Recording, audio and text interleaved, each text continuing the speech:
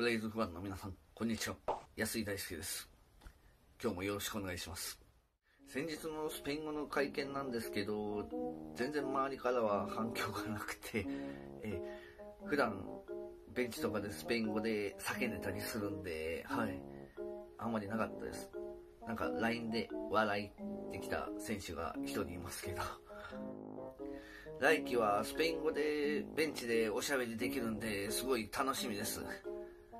今年は誰もスペイン語を喋れる子がいなかったんで、来季活躍するために北海道フロンティアリーグボール1号を練習しています。来月ギブスを買おうかなと思っております。北海道フロンティアリーグボール養成ギブスです。ああ、またおっさんっていう。我々、標別サムライブレイズは、来季より新しい北海道フロンティアリーグの所属になります。今まで以上にファンの皆様に楽しんでいただけるよう頑張りますので、ご声援よろしくお願いします。